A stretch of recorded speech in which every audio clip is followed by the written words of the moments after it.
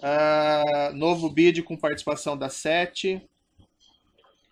Uh, depois está mencionado lá. Neste caso, permanece a estratégia da Petrobras de orientar 7 para negociar as 21 sondas com GA, J, KF e EP, EEP. O senhor se recorda desse, dessa mensagem? Sim. Saberia me explicar?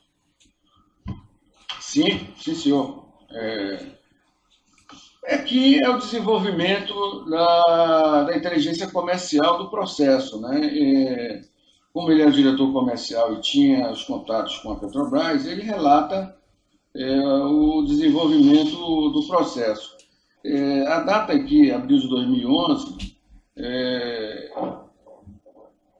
fazendo um pouco é, aqui a memória, a, SET, ela foi, é, a Petrobras fez a sessão, todo o processo de licitação é, que foi conduzido pela Petrobras, se eu não me engano, em fevereiro ou janeiro de 2011 para a SET.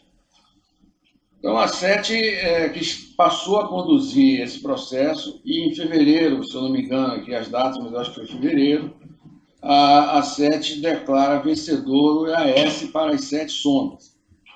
Tá certo? E é, a demanda que a Petrobras é, sinalizava, e essa, essa sinalização ela era pública em diversas apresentações feitas ao mercado, ela sinalizava é, 28 sondas.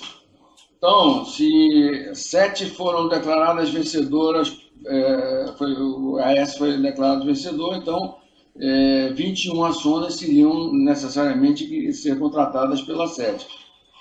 Tá certo? Aí, o que acontece, como a SET é, assumiu todo o processo, e ela sendo uma empresa privada, ela inicia todo o processo de negociação com os players que ficaram no processo, que são esses que estão listados aqui. No caso, nós somos o EEP. Tá certo? Então, nesse processo, ela começou a fazer a negociação. Mas eu não entendi aqui a estratégia da Petrobras em orientar a SET para negociar as 21 sondas com os estaleiros. Então, a Petrobras é que tinha ingerência na, na SET para fazer, orientar essa contratação? Eu não sei dos detalhes da relação da, da Petrobras com a SET, mas o que eu sei é que a, SET, a Petrobras fez uma licitação, onde a SET se tornou vencedora e eh, adquiriu o, o, vamos dizer assim, o, uh, o poder, o, adquiriu a necessidade de contratar mais 21 sondas.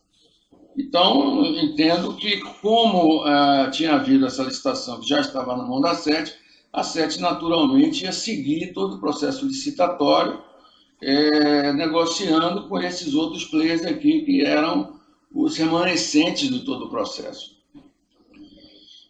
Também tem uma frase ali no item 6, mencionou, com a referência aqui ao diretor Duque, que tem compromisso com o PT de ficar no cargo de diretor até solucionar a contratação dessas 21 sondas.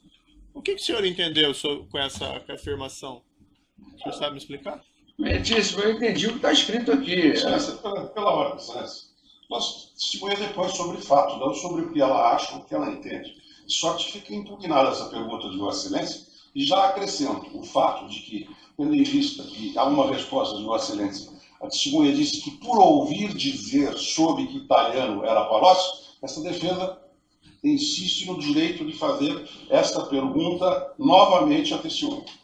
Certo. Ah, como ele é destinatário do e-mail, doutora, a pergunta é pertinente. Então eu, eu reitero a pergunta e depois de eu terminar eu tá, passo a palavra com devido ao respeito, Com devido respeito, excelência, a testemunha não pode achar nada, a não ser que aí haja um outro código de processo penal. Tá bom, de acordo com o Código de Processo Penal brasileiro, a testemunha depois sobre fatos e não opina de modo que eu não vou aceitar esta violência contra a letra do Código de Processo Penal. Tá bom, doutor. Com devido respeito. Só a questão já foi indeferida, então é, eu reitero a pergunta à testemunha.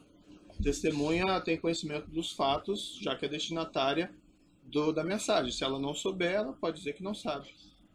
Mas ela não pode achar que. Doutor, a sua se questão assim, está a indeferida. a defesa adverte ao testemunha que ela está proibida de depor sobre o que ela acha. A lei impõe que ela deponha sobre fatos. Ah, doutor, o doutor faça concurso para juiz e assuma então a condição da audiência, mas quem manda Vossa na audiência Excelência é o juiz. exame da ordem dos advogados do Brasil, Excelência. Cada um aqui cumpre o seu papel. Tá certo? Certo. A sua questão está indeferida, doutor. Eu estou perguntando à testemunha. O que o senhor entendeu com essa mensagem? O que o senhor sabia sobre esses fatos?